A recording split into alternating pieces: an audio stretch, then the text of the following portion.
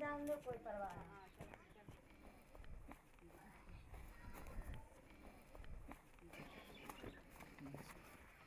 हम अपना परेशान करे हम गरीब लोग कहाँ पर परेशान करे अब पैसा रो रो तुम हमारे पीछे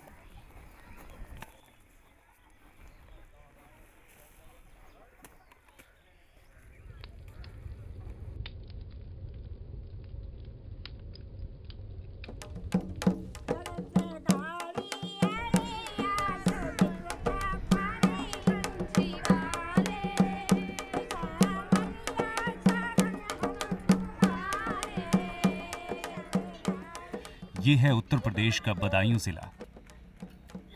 पश्चिम उत्तर प्रदेश का ये जिला एक जमाने में सूफी संतों के लिए जाना जाता था।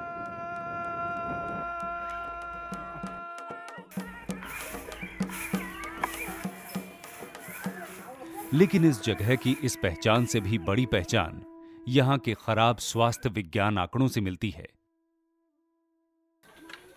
जिसका कई कारणों से एक बड़ा कारण था खुले शौचालय। इस मुद्दे को गहराई से समझने के लिए ये जानना भी अनिवार्य है कि एक खुला शौचालय और एक मैला ढोने वाले का आम दिन कैसा होता था। इन शौचालय में जो परिवार के जितने भी सदस्य होते थे, वो जो है इनमें टट्टी या शौच किया करते थे। फिर जो है, जो वाल्मीकि महिला थी, वो अपनी डलिया और मतलब जो एक लोहे का कड़ंगा टाइप जो है, औज़ार लेकर के वो इसे जो है राख डाल के या मिट्टी डाल के इसको जो साफ़ करती थी।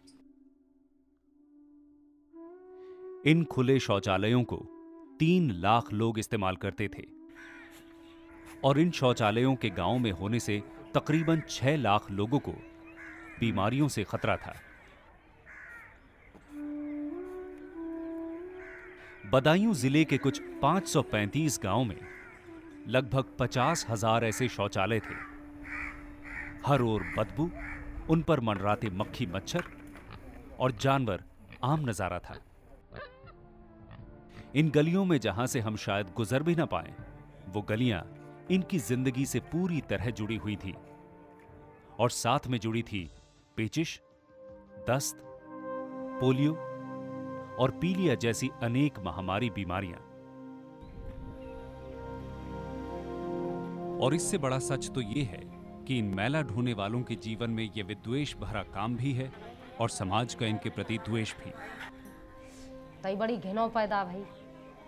मुँह बाँध के तई डलिया उठाई, डलिया बह गिर गई। अब मैं मौजूदगी में है जिनके घर में अपने पहले मेरा काम करो। तई अब करे करा के डलिया उठाई ले, चलता है। पोंछ पाँच दो भैया कपड़ा बदल के दूसरे फिर गए। तई नौकरी बोले, करे आई, मैंने ना करना आई। ही रहेगा वो काम। तो बोले, चल मैं बता दूँ बखरी, मैं चल, चला। तई बखरी बताइए भैया पर्दा कर रहे हैं, डलियो धरे हैं चाँद पे। करे हाँ कर रहे हैं काम। और इस घृणित काम को करके ये मैला ढोने वाले बहुत ही मामूली सी कमाई कर पाते थे और इस मामूली कमाई के साथ इन्हें इनाम में दूसरों की झूठन या छूत अछूत का भारी भेदभाव झेलना पड़ता था। दरवाजे से भीतर घुसर ना देते। गेट पर आखते बाटे कि अंदर मत आइए भैया हम छे जाएँगे जहाँ पे हम खड़े हो जाते हम पानी मार के और धो देते। कि यहाँ आप जो लोग खड़ी हुई गई रोटी दे हैं तो दूर से ऐसे करके। डाल देती हैं कि लो रोटी ले जाओ। ये हमारे समाज के दोहरे नैतिक सिद्धांत का उदाहरण था। मानवता की इस दुर्दशा के लिए कुछ न कुछ करना बहुत ही ज़रूरी था। ज़रूरी था इस प्रथा को भी खत्म करना और इस भेदभाव को भी खत्म करना। पर इस जीवन शैली इससे जुड़ी बीमारियों और सामाजिक भेदभाव को बदायूं के निवासी पूरी तरह से अपना चुके थे। बदायूं ज़िले के सरकारी अधिकारियों ने इस ज़िले को श्राप से मुक्त करने की पहल की। जब गाँव में जाकर हम लोगों ने देखा तो हमारे समझ में ये आया कि इसके हेल्थ और सैनिटेशन पर कितने गंभीर और विपरीत प्रभाव हैं। जब ह्यूमन एक्सक्रीटा एक घर में बिना साफ़ किए हुए पड़ा रहता है, उसी के बगल में, शौचालय के बगल में ही खाना बनता है, घर में मक्खियाँ होती हैं जो इधर उधर जाकर बैठती हैं तो ये कल्पना करना सहज ही है कि उससे कितने प्रकार की बीमारियाँ होती होंगी। और यदि एक गाँव में 500 इस प्रकार के या हज़ार इस प्रकार के शौचालय हैं तो पूरे गाँव की क्या स्थिति होगी? और ये स्थिति सिर्फ़ स्वच्छता पर सवाल नहीं था, बल्कि दफ़ा उन्नीस सौ तिरानवे के भी खिलाफ था। इसी आक्रोश में मैला धोने की प्रथा का अंत करने के लिए डलिया जलाओ अभियान शुरू किया गया। इस अभियान से डलिया के साथ इस प्रथा को हमेशा के लिए खत्म करने की पहल की गई है।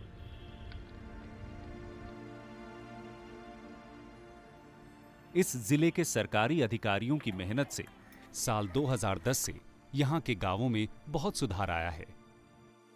पर यह कर पाना उतना आसान नहीं था जितना लगता है। यहाँ के अधिकारियों के सामने दो बड़ी परेशानियाँ थीं। पहली, बदायूं ज़िले में से खुले शौचालयों को खत्म करना। और दूसरा, इन मैला ढोने वालों को रोज़गार दिलाना, जिससे वो फिर से उसी गंदगी में न लौट जाएँ।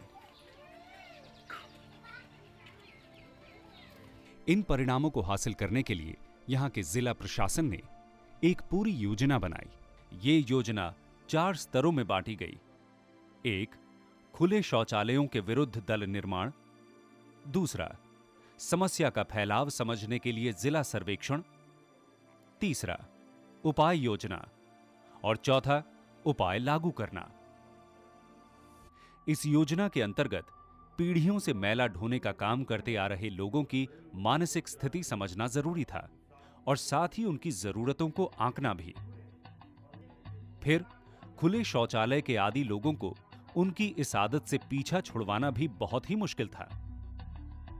तब समस्या की गहराई को समझते हुए सरकारी अधिकारियों ने स्थिति सुधारने के लिए इस योजना में गाँव के ही लोगों को शामिल करने का निर्णय लिया। इस योजना के अंतर्गत सबसे पहले एक दल बनाया गया जो इस योजना पे काम करेगा।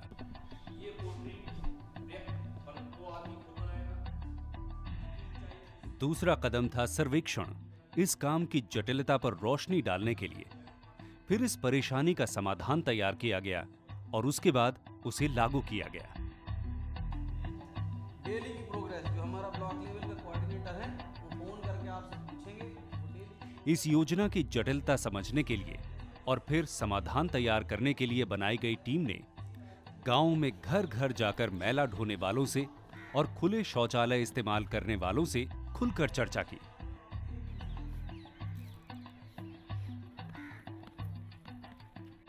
अलग अलग विभागों से अधिकारियों ने अपने सदस्य भेजे, जिन्हें गाँव में लोगों से खुले शौचालयों और मैला ढोने के मुद्दों पर बात करने के लिए कहा गया।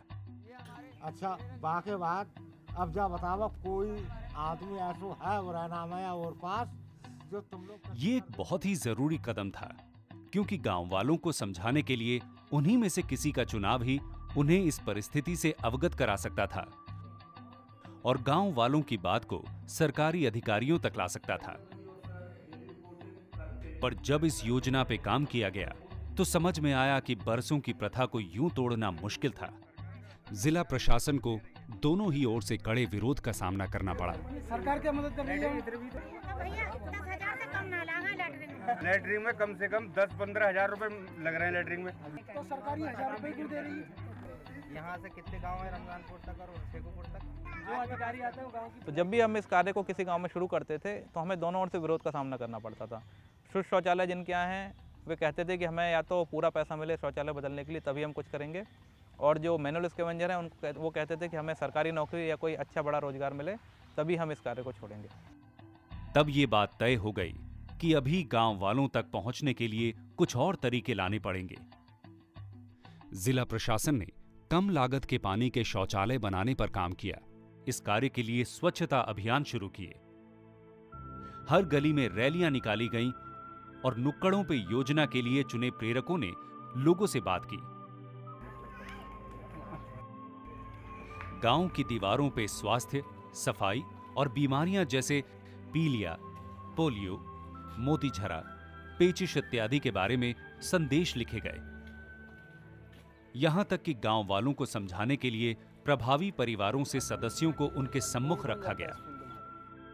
वहाँ के अखबारों में इस मुहिम के बारे में, इससे जुड़े अभियान और इसके असर के बारे में लिखा और इसे बढ़ावा दिया गया। हर तरह से कोशिश कर यह निश्चित किया गया कि गाँव में खुले शौचालय बंद कर पानी के शौचालय बनाए जाएँ। जो गाँव वाले फिर भी इस पहल का विरोध कर रहे थे, जिला प्रशासन ने इनके साथ कड़े साधनों का प्रयोग किया। इसके लिए दफ़ा उन्नीस सौ तिरानवे प्रयोग में लाई गई। कुछ ही समय में इस योजना का असर दिखने लगा। और मैला ढोने वालों को इस कार्य को छोड़ अन्य कार सौंपे गए। इस योजना से गाँव में बराबरी का माहौल बना। वहाँ न सिर्फ़ स्वास्थ्य, सफ़ाई व्यवस्था के दृष्टिकोण से बदलाव आया, बल्कि इस योजना ने जाति भेदभाव, छुआछूत की अनैतिकता को भी दूर कर दिया। अब तो जाए कि वे घर में बैठ जाएँगे आए के, जिस बासन हम खाएँगे बा में खा लेते हैं, और अच्छे व्यवहार है। अब तो हम और तुम सब बराबर हो गए, भेदभाव सब खत्म हो गए, अब काहे की छूत रही? काम धंधे गंदे तुम लोगों ने बंद कर दिए अब सही हो। सरला ऐसे कई लाभ भोगियों में से एक है, जिसे खुले शौचालयों को हटा देने के बाद एक नया जीवनदान मिला है। ऐसे कई परिवारों में से एक और परिवार है, जिसमें मैला ढोने की प्रथा सालों से चली आ रही थी। रमजानपुर की सुनीता देवी एक ऐसी पीढ़ी से हैं जहाँ उन्हें अपनी सास से मैला ढोने की प्रथा मिली थी। अपनी पूरी उम्र उन्होंने लोगों का मल ढोया और शायद इनकी खुद की बेटी भी इसी प्रथा की भागीदार बनती। मगर इस ज़िले की सरकार की सकारात्मक सोच और दृढ़ निश्चय ने आज इस बच्ची का भविष्य बदल दिया। क्यों खुश है? अपने घर बना रहे हैं, अपनी अच्छी खा रहे हैं, अपनी सफ़ाई से खा रहे हैं, अपने हाथ से। और बाहर के खाने ही पता कोई जूठा दे रहा है, कोई कैसे दे रहा है? तो बात है ना पसंद है। और अपने घर में चाहे हम चटनी से बना रहे हैं। नमक की रोटी बना कर हम चटनी से खा लेंगे अपने खा तो सफ़ाई के रहे हैं अपने हाथ से। इस तरह से सरकार के सहयोग से मैला ढोने वालों को सम्मान की ज़िंदगी तो मिल गई पर अभी और काम बाकी था। सरकार के लिए यह ज़रूरी था कि अब वो इन मैला ढोने वालों को रोज़गार दिलाए ताकि कोई भी मजबूरी इन्हें वापस उस जीवन में दोबारा न ले जा सके। महात्मा गांधी राष्ट्रीय ग्रामीण रोज़गार गारंटी एक्ट के तहत उन्हें रोज़गार उपलब्ध कराए गए। इस समुदाय के लोगों को पेंशन युक्ति के तहत पेंशन उपलब्ध कराई गई और राशन कार्ड भी जारी किए गए। उनके बच्चों का पाठशालाओं में दाखिला करवाया गया और छात्रवृत्ति भी प्रदान की गई। वहाँ इन बच्चों को अपने उज्जवल भविष्य के लिए शिक्षा भी मिलने लगी और मिड डे मील के रूप में पौष्टिक आहार वाला भोजन भी। अब इस ज़िले के हर गाँव में खुले शौचालय हटा पानी के शौचालयों का निर्माण होने लगा। और अब आप देखिए, इधर अंदर जो है, उसकी जो खुले में जो शौच पड़ा रहता था, अब ये सेरेमिक सीट में हमने इसको कन्वर्ट किया हुआ है।